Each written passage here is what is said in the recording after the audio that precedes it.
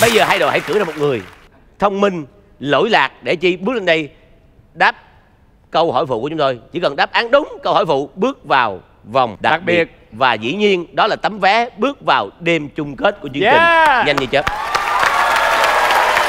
Bây giờ hãy cử đi. Rồi bên đây là ai? Thôi em lên luôn cho. Rồi làm vị dạ.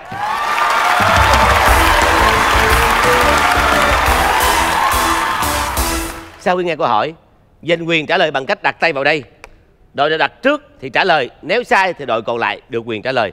Sẵn sàng chưa? Sẵn sàng. Sẵn sàng. Sau đây là câu hỏi. Bình gì có nhiều chữ nhất? Ba hai một. Bình Phương. Bình phương.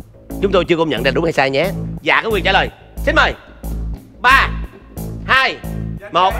Hết giờ. Bình luận. Hết giờ rồi. Bình luận là chính xác nhưng hết giờ rồi ủa gì vậy? ủa vừa mới hai một vừa mới ba hai một. sau khi nhắc chỉ rồi. có 3 giây trả lời vừa mới ngay một luôn á. đã, đã Tì quy nhắc định nha, rồi. không được nha, Tì. chúng ta đã quy định với nhau rằng là chỉ có 3 giây để trả lời. Bây giờ trước khi đến với câu hỏi hai đội có quyền đổi người ngay bây giờ nếu muốn.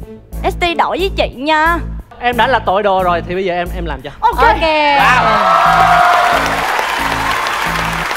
Bên đội bên đây anh nhật vẫn không thay đổi? Không. Vì vì dưới kia không ai có khả năng nữa. Bây giờ là câu hỏi của chương trình cầu gì thiên liêng nhất? Ê, st ba hai cầu hôn! một. Đáp án vừa rồi. Không chính xác và lâm trực ba hai một. Hết giờ. Ví dụ là cầu gì anh? cầu gì? nguyện. Anh nói là cầu nguyện. Chính xác cầu nguyện là chính xác. Cầu nguyện là chính xác. Nhưng vừa rồi rất tiếc. Hết giờ. Không có thời gian. Nhưng mà em nghĩ là cầu hôn cũng được mà. Đúng rồi câu cúng thiên liêng không bao giờ mà. thiên liêng mà cầu nguyện. Cầu nguyện là đức tin của mình đó là thiên liêng nhất. Áp lực đến từ đâu? Về thời gian. Vì đây là vòng bán kết. Áp lực đến từ tấm vé vào chung kết. Tiền bạc bây giờ không quan trọng. Quan trọng là mình thắng đội đối phương. Cố lên cố lên cố lên cố lên bây giờ lên. theo em khuyên nhủ anh nên đổi cho lê dương bảo lâm lên đi. Tụi em vẫn tin anh. Để mình thua luôn cho rồi. Bây giờ là một câu hỏi. Hãy cho biết. Chương trình nhanh như chớp phát sóng vào thứ mấy?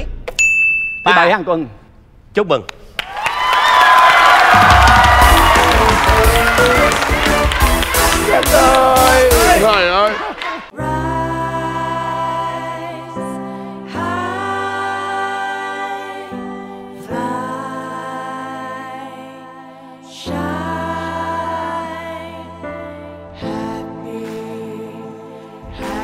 back.